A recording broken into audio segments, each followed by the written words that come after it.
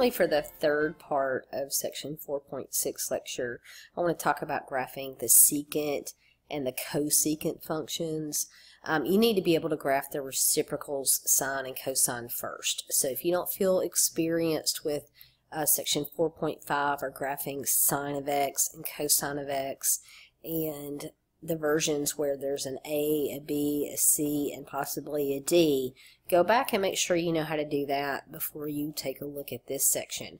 But if you can do that, if you can graph sine and cosine very, very well, the secant and cosecant graphs are going to be very easy for you. So notice this first graph. We're graphing secant of x, and I'm asking you to graph y equals cosine of x. It's reciprocal before you graph secant of x. So if you'll recall, cosine of x starts off the axis, and then you get that classic sine wave between 0 and 2 pi.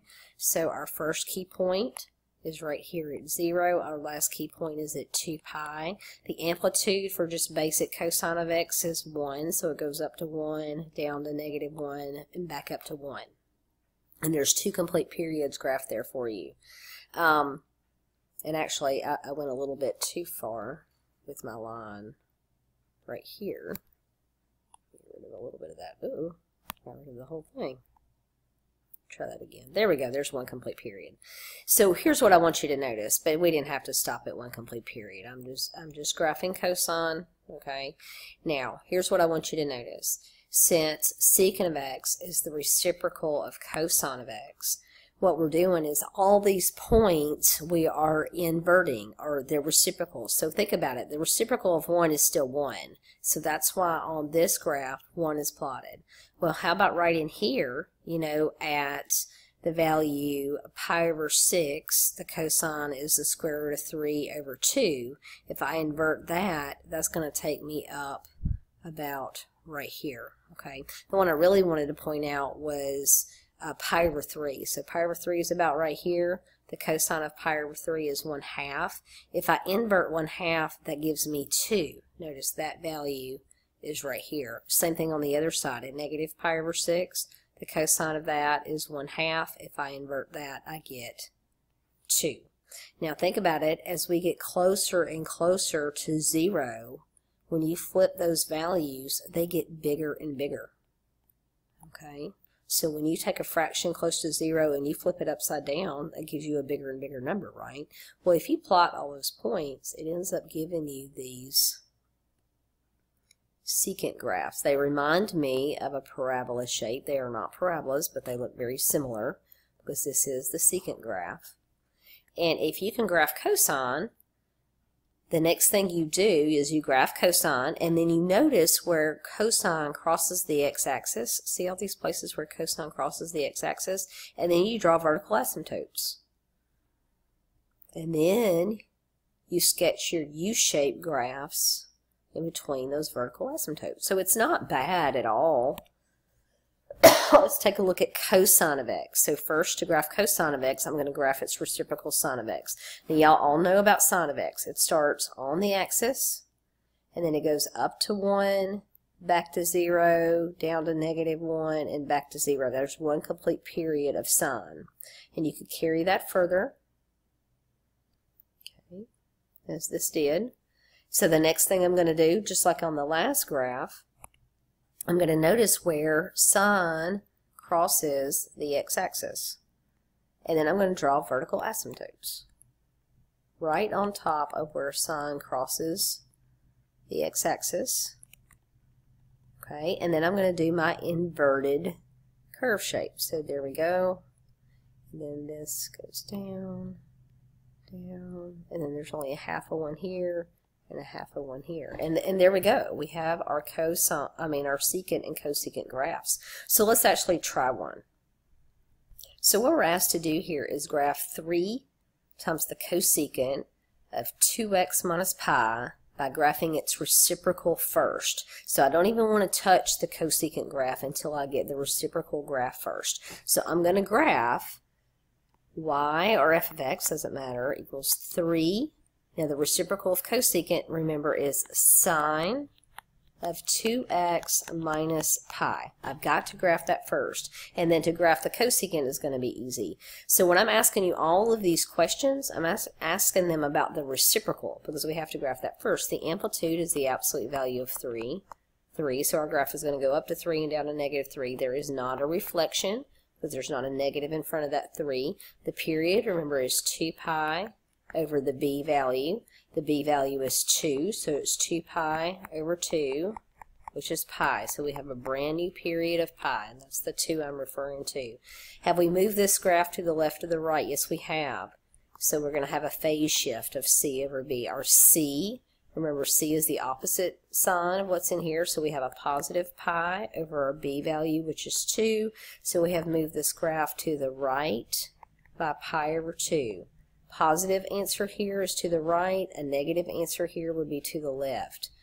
Um, uh-oh, look what I did. I put the phase shift in the wrong spot. So let's answer the key points. How far apart are the key points? Remember, you always take your period and divide it by 4. Well, pi over 4 divided by 4, I mean, pi divided by 4 is just pi over 4. So these points are pi over 4 apart. So again, I got these two questions mixed up, and that'll be okay. Now, we're supposed to find the first key point. Well, the first key point happens at your phase shift. So our first key point is pi over 2. Okay, I'm going to list that right up here, pi over 2. Our next key point is going to happen when we take that pi over 2 and add how far apart they are to that. So I'm going to add pi over 4 to that. I need a common denominator to pull this off, so I'm going to multiply by 2 over 2. So I'm adding 2 pi over 4 plus pi over 4, which is going to give me 3 pi over 4. So that's my next key point. Once again, I'm going to add how far apart these are. So I'm going to add pi over 4 to this. 3 pi over 4 plus pi over 4 is 4 pi over 4. 4 pi over 4 reduces to pi. Okay, and then I'm going to add pi over 4 once again. It's going to give me 5 pi over 4. Remember, we stop at 5 key points. That's 1, 2, 3, 4. i got to do it again. So I'm going to add pi over 4 to this once again. Notice there's just scratch work I got going on here. So 5 pi over 4 is what we had before there. It's going to give me 6 pi over 4, which is 3 pi over 2. Okay, so I started with 2 pi over 4, 3 pi over 4, 4 pi over 4, 5 pi over 4, 6 pi over 4, and just reduced. So I want to mark those clearly on my axis. So I've got, here's pi over 2, okay? 3 pi over 4 is here. Pi, 5 pi over 4, and 3 pi over 2. Those are my five key points. Okay, I could certainly go backwards with this. Notice how the grid lines worked out perfectly for this problem. Um, if it didn't work out nicely, I'd probably do better with just a blank XY axis and draw everything on there myself. So remember, sine starts on the axis. Okay, so sine starts on the axis. There is no reflection, so that means at my next point I go up to 3, back to the axis, to negative 3 back to the axis. So remember, this is not my graph. This is the graph of the reciprocal function. And if I were to graph two complete periods, I would need to keep going. So let's just keep going to the left. Okay, so I'm down at negative 3. My next key point would be at 0. I'm up at 3 and back to 0. And now I have two complete periods. Now remember, this is not my graph. Let's do our graph in blue.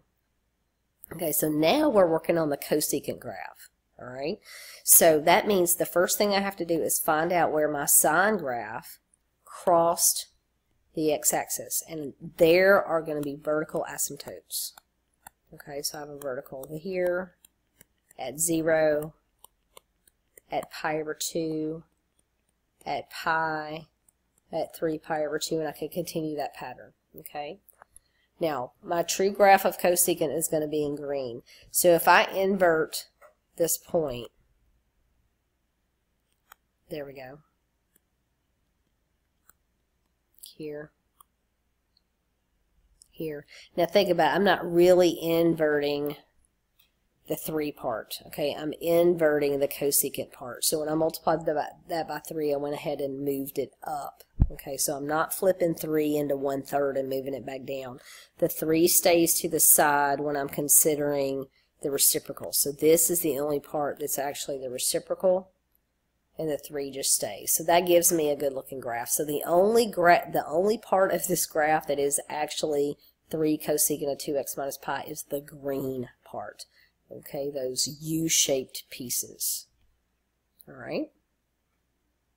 So for my next and last example for graphing secant and cosecant graphs is we're dealing with negative 2 secant of x minus pi over 2. Okay, and again it asks to graph the reciprocal first. It asks what is the reciprocal, where the reciprocal would be y equals. Now the negative 2, again, that we're not doing the reciprocal of that, okay? So we're just keeping that out front, and we're really just taking the reciprocal of secant of x minus pi over 2, which is going to be cosine of x minus pi over 2. So honestly, when I ask you what is the reciprocal, uh, I'm really not asking what is the reciprocal including the a value. We're just ignoring the a value and taking the reciprocal of the rest of the function, which is going to be cosine. Um, if we were adding a d out to the side, we would do the same thing. We would just leave that d out there, although I have never seen this book or myself do I give any that are that complicated. So we're supposed to find the amplitude. The amplitude of this value right here, negative 2 cosine x minus pi over 2 is the absolute value of 2, which is 2. So our cosine graph is going to go up to 2, down to negative 2. Is there a reflection? Yes, there is because of that negative. We're supposed to find the period, which is 2 pi over b. So I have 2 pi. My b value was 1. Saves a little bit of trouble. 2 pi is my period. How far apart are the key points? I always take my new period, divide it by 4, so these are pi over 2 apart. So that's going to help me find all five key points. But first I'm going to find the phase shift, which is C over B. C is always the opposite operation of what you're doing in here. So if you've got a minus pi over 2, C is positive pi over 2 divided by the B value, which is 1. That simplifies to pi over 2. Since it's positive, that means our graph has moved to the right by pi over 2. Finally, we are to find five key points. Well, the first key point is that move. Okay, so we moved pi over 2. Now we're going to continually add pi over 2 because they're pi over 2 apart. Okay, so if I take my first key point of pi over 2 and I add pi over 2 to that, I get pi or 2 pi over 2. I add pi over 2 to that, I get 3 pi over 2.